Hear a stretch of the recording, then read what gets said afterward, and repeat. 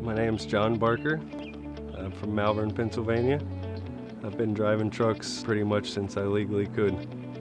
I have, as far as in a big rig, I have only hauled horses. Um, I don't really uh, have much of a desire to do anything else other than, you know, work with the animals, so that's cool.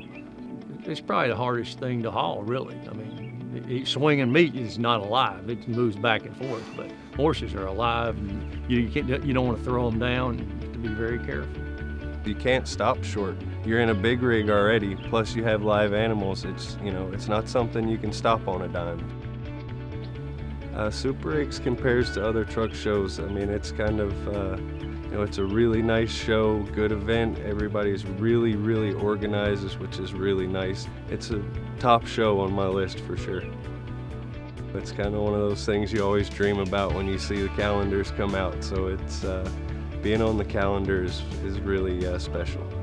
I learned so much from my dad. Uh, you know, I started out riding with him before I could even, you know, think about driving. Uh, I'd be asleep before we got out of the driveway, but that was the, the start, you know, the best time of my life was just riding with Dad. That's true. He wouldn't get in a sleeper. We had an old cab over. He wouldn't get in a sleeper. He was scared about it. He'd sit right in a doghouse and go to sleep.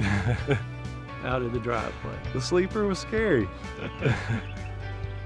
uh, every one of Dad's diesel vehicles, lawnmowers, pickup trucks, uh, the big truck, we all, you know, Rotella's the oil to go to. And that's something that he's always run and taught me to, that's it. There's no other oil in our opinion.